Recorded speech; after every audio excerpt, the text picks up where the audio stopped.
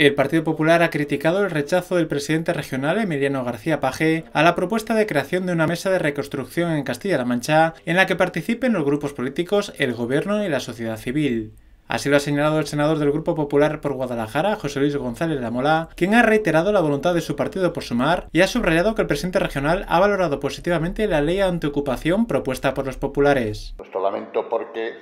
el jefe del Ejecutivo Regional ha rechazado, rechazó la propuesta hace una semana, la propuesta de creación de una mesa de reconstrucción en Castilla-La Mancha, en la que se pudieran participar los tres grupos políticos de las Cortes Regionales, el Gobierno y la sociedad civil castellano-manchega. La voluntad de nosotros, los populares, es la de construir, consensuar, sumar y aunar esfuerzos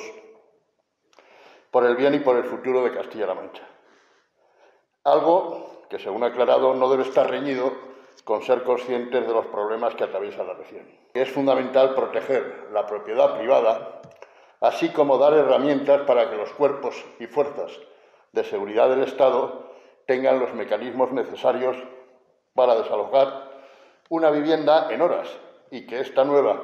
legislación haga efecto disuasorio a quienes quieran ocupar.